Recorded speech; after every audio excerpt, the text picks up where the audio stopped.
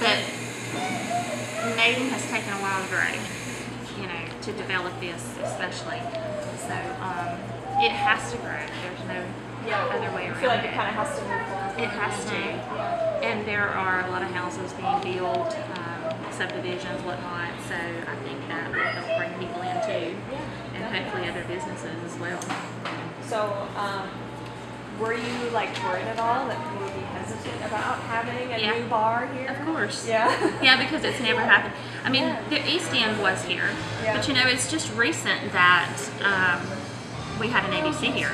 Oh, sure. Yeah. So, yeah, it, it there was a bit of thinking, will everybody, you know, conduct Sure. Yeah. and move forward with the bar in Little Maiden? But But do you feel like the reception?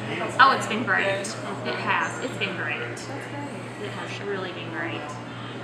Um, we haven't seen any hesitancy from people because I mean, we have been very busy and we've only been open for a little over a week. That's what I was gonna ask. The official open date was that last. That was the fifth.